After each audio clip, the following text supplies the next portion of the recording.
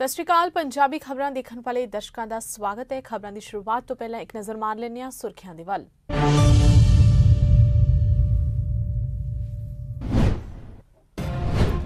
ਪੰਜਾਬ 'ਚ corona virus ਬਾਬਤ ਤਾਜ਼ਾ ਅੰਕੜੇ ਜਾਰੀ ਪੰਜਾਬ 'ਚ ਕਰੋਨਾ ਦੇ 52 ਨਵੇਂ ਮਾਮਲੇ ਆਏ ਸਾਹਮਣੇ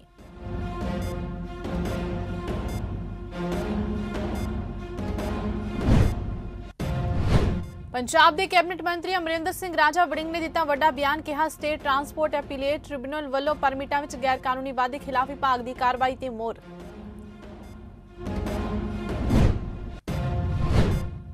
ਪਤੀ ਕੈਪਟਨ ਨਾਲ ਜਾਣਦੇ ਸੰਸਦ ਮੈਂਬਰ ਪਰਨੀਤ ਕੌਰ ਨੂੰ ਕਾਂਗਰਸ ਹਾਈ ਕਮਾਨ ਨੇ ਜਾਰੀ ਕੀਤਾ ਨੋਟਿਸ। ਹਰੀਸ਼ ਚੌਧਰੀ ਵੱਲੋਂ ਮਹਾਰਾਣੀ ਪਰਨੀਤ ਕੌਰ ਨੂੰ ਕਾਰਨ ਦੱਸੋ ਨੋਟਿਸ ਜਾਰੀ।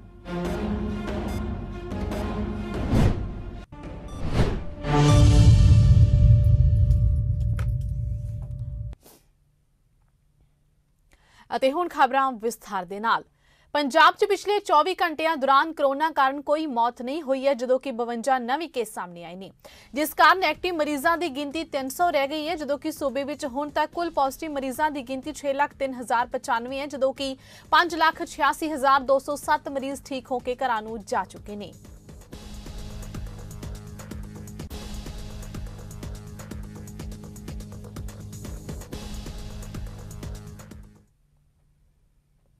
ਪੰਜਾਬ ਦੇ ਟਰਾਂਸਪੋਰਟ ਮੰਤਰੀ ਸ਼੍ਰੀ ਅਮਰਿੰਦਰ ਸਿੰਘ ਰਾਜਾ ਵੜਿੰਗ ਨੇ ਕਿਹਾ ਕਿ ਸਟੇਟ ਟਰਾਂਸਪੋਰਟ ਅਪੀਲੀਏਟ ਟ੍ਰਿਬਿਊਨਲ ਦਾ ਜਾਇਆ ਫੈਸਲਾ ਗੈਰ ਕਾਨੂੰਨੀ ਢੰਗ ਨਾਲ ਬੱਸ ਪਰਮਿਟਾਂ ਵਿੱਚ ਕਈ ਵਾਰ ਕੀਤੇ ਗਏ ਵਾਅਦੇ ਖਿਲਾਫ ਪੰਜਾਬ ਸਰਕਾਰ ਵੱਲੋਂ ਕੀਤੀ ਗਈ ਕਾਰਵਾਈ ਤੇ ਮੋਹਰ ਲਗਾਉਂਦਾ ਹੈ ਜਿਸ ਨੇ ਪੰਜਾਬ ਤੇ ਇਸ ਦੇ ਲੋਕਾਂ ਨੂੰ ਆਪਣੇ ਨਿੱਜੀ ਮੁਫਾਦਾਂ ਲਈ ਲੁੱਟਣ ਵਾਲਿਆਂ ਦੇ ਚਿਹਰੇ ਤੋਂ ਨਕਾਬ ਹਟਾ ਦਿੱਤਾ ਪੰਜਾਬ ਭਵਨ ਵਿਖੇ ਪ੍ਰੈਸ ਕਾਨਫਰੰਸ ਨੂੰ ਸੰਬੋਧਨ ਕਰਦਿਆਂ ਰਾਜਾ ਵੜਿੰਗ ਨੇ ਕਿਹਾ ਕਿ ਅੱਜ ਅਹਿਮ ਦਿਨ ਹੈ, ਜਦੋਂ ਜੁਝਾਰ ਟਰਾਂਸਪੋਰਟ ਪੈਸੇਂਜਰ ਸਣੇ ਗੈਰ ਕਾਨੂੰਨੀ ਤੌਰ ਤੇ ਚੱਲਣ ਵਾਲੇ 806 ਪਰਮਿਟ ਰੱਦ ਕਰਨ ਦੀ ਟਰਾਂਸਪੋਰਟ ਵਿਭਾਗ ਦੀ ਕਾਰਵਾਈ ਤੇ ਟ੍ਰਿਬਿਊਨਲ ਨੇ ਜਾਇਜ਼ ਠਹਿਰਾਇਆ।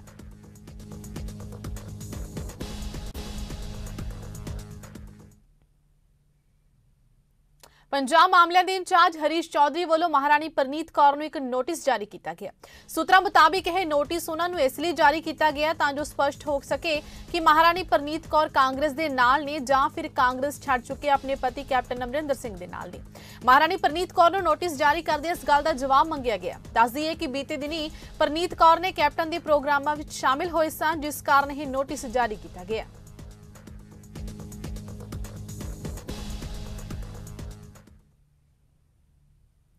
ਸੀਪੀਆਈ ਦੇ ਕੌਮੀ ਜਨਰਲ ਸਕੱਤਰ ਸੀਤਾਰਾਮ ਜੇਚੂਰੀ ਨੇ ਕੇਂਦਰੀ ਖਾਤੇ ਕਾਨਾਂ ਨੂੰ ਵਾਪਸ ਲੈਣ ਨੂੰ ਲੈ ਕੇ ਕਿਸਾਨਾਂ ਦੀਆਂ ਚਿੰਤਾਵਾਂ ਦਾ ਸਮਰਥਨ ਕਿਹਾ ਕਰਦਿਆਂ ਕਿਹਾ ਕਿ ਕੇਂਦਰ ਦੀ ਭਾਜਪਾ ਸਰਕਾਰ ਤੇ ਭਰੋਸਾ ਨਹੀਂ ਕੀਤਾ ਜਾ ਸਕਦਾ ਜਦੋਂ ਕਿ ਪੰਜਾਬ ਵਿੱਚ ਆਉਂਦੀਆਂ ਵਿਧਾਨ ਸਭਾ ਚੋਣਾਂ ਨੂੰ ਲੈ ਕੇ ਪਾਰਟੀ ਦੀ ਰਣਨੀਤੀ ਨੂੰ ਲੈ ਕੇ ਉਹਨਾਂ ਕਿਹਾ ਕਿ ਇਸ ਬਾਰੇ ਫੈਸਲਾ ਸਮਾਂ ਆਉਣ ਤੇ ਲਿਆ ਜਾਵੇਗਾ ਲੇਕਿਨ ਮੁੱਖ ਟੀਚਾ ਭਾਜਪਾ ਨੂੰ ਸੱਤਾ ਤੋਂ ਦੂਰ ਰੱਖਣਾ ਹੈ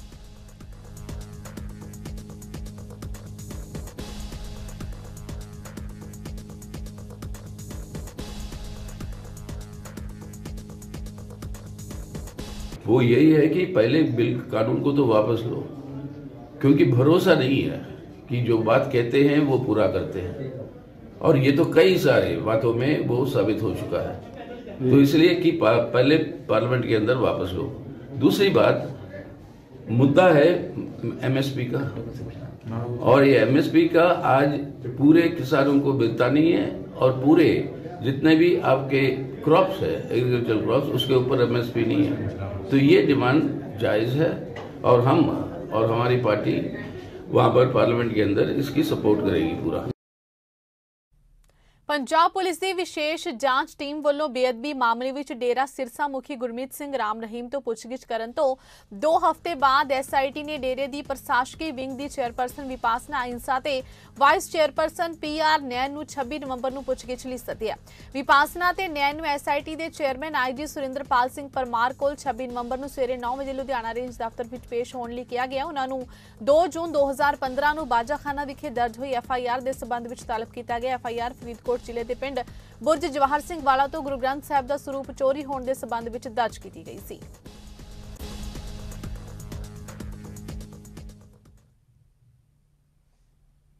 ਐਨਆਈਏ ਨੇ ਬਠਿੰਡਾ ਜ਼ਿਲ੍ਹੇ ਦੇ ਰਾਮਪੁਰਾ ਹਲਕੇ 'ਚ ਪੈਂਦੇ ਕਸਬਾ ਭਗਤਾ ਭਾਈ ਦੇ ਭੀੜ-ਭਾੜ ਵਾਲੇ ਇਲਾਕੇ ਵਿੱਚ ਇੱਕ ਸਾਲ ਪਹਿਲਾਂ 20 ਨਵੰਬਰ 2020 ਨੂੰ ਦਿਨ ਦਿਹਾੜੇ ਕਤਲ ਕਰ ਦਿੱਤੇ ਗਏ ਡੇਰਾ ਸੱਚਾ ਸੌਦਾ ਸਿਰਸਾ ਦੇ ਸ਼ਰਧਾਲੂ ਮਨੋਹਰ ਲਾਲ ਦੇ ਕਤਲ ਮਾਮਲੇ ਦੀ ਜਾਂਚ ਸ਼ੁਰੂ ਕਰ ਦਿੱਤੀ ਹੈ ਮਨੋਹਰ ਲਾਲ ਨੂੰ ਮੋਟਰਸਾਈਕਲ ਤੇ ਸਵਾਰ ਹੋ ਕੇ ਆਏ ਦੋ ਨੌਜਵਾਨਾਂ ਨੇ ਅੰਨ੍ਹੇਵਾਹ ਗੋਲੀਆਂ ਚਲਾ ਕੇ ਕਤਲ ਕਰ ਦਿੱਤਾ ਸੀ ਤੇ ਫਰਾਰ ਹੋ ਗਏ ਸਨ ਇਸ ਕਤਲ ਦੀ ਜ਼ਿੰਮੇਵਾਰੀ ਗੈਂਗਸਟਰ ਸੁੱਖਾ ਲੰਮੇ ਗਰੁੱਪ ਨੇ ਲਈ ਸੀ ਤਕਰੀਬਨ 11:30 ਵਜੇ ਐਨਆਈਏ ਦੀ ਟੀਮ ਜਤਿੰਦਰਾ ਟੈਲੀਕਾਮ ਤੇ ਪੁੱਜੀ ਤੇ ਸ਼ਾਮ 6 ਵਜੇ ਤੱਕ ਮੈਰਾਥਨ पड़ताल की थी, पता लगे कि जाँच टीम नाल ने मुलाजमा तो क्राइम सीन दोहराया जिसकी बकायदा वीडियोग्राफी भी की गई है।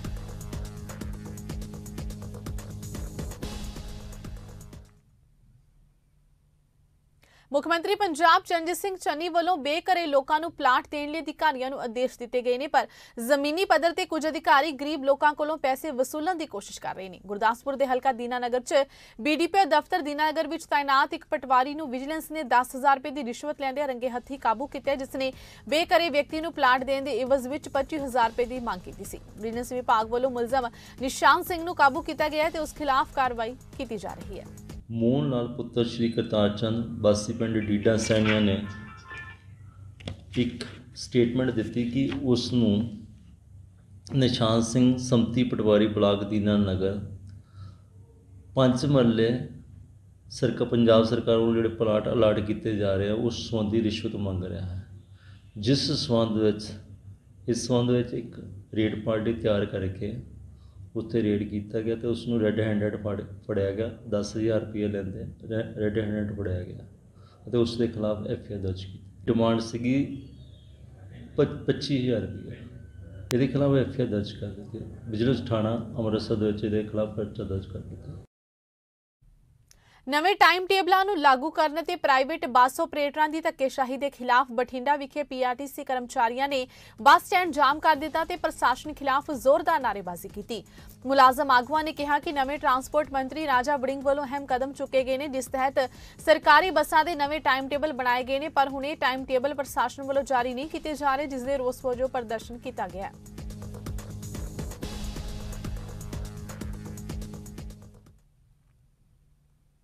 ਪੰਜਾਬ ਸਰਕਾਰ ਦੇ ਵੱਲੋਂ ਸ਼੍ਰੀ ਅਨੰਦਪੁਰ ਸਾਹਿਬ ਵਿੱਚ ਸੀਵਰੇਜ ਓਵਰਫਲੋ ਹੋਣ ਦੀ ਸਮੱਸਿਆ ਦਾ ਹੱਲ ਕਰਦੇ ਹੋਏ 8 ਕਰੋੜ ਦੀ ਲਾਗਤ ਨਾਲ ਸ਼੍ਰੀ ਅਨੰਦਪੁਰ ਸਾਹਿਬ ਵਿੱਚ ਨਵਾਂ ਸੀਵਰੇਜ ਪਾਈਪਾਂ ਪਾਈਆਂ ਜਾ ਰਹੀਆਂ ਨੇ ਤੇ ਇਹ ਕੰਮ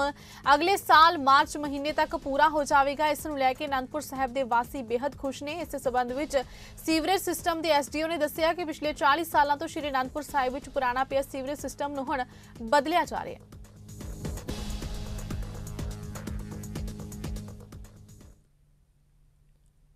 ਗੜਸ਼ੰਕਰ ਪੁਲਿਸ ਨੂੰ ਉਸ ਵੇਲੇ ਵੱਡੀ ਕਾਮਯਾਬੀ ਮਿਲੀ ਜਦੋਂ ਪੁਲਿਸ ਨੇ ਗੁਪਤ ਸੂਚਨਾ ਦੇ ਆਧਾਰ ਤੇ ਕਾਰਵਾਈ ਕਰਦੇ ਇੱਕ ਵਿਅਕਤੀ ਨੂੰ ਕਾਬੂ ਕੀਤਾ ਤੇ ਉਸ ਕੋਲੋਂ ਚੋਰੀ ਦੇ ਪੰਜ ਮੋਟਰਸਾਈਕਲ ਬਰਾਮਦ ਕੀਤੇ ਨੇ ਪੁਲਿਸ ਵੱਲੋਂ ਮੁਲਜ਼ਮ ਖਿਲਾਫ ਕਾਨੂੰਨੀ ਕਾਰਵਾਈ ਕੀਤੀ ਜਾ ਰਹੀ ਹੈ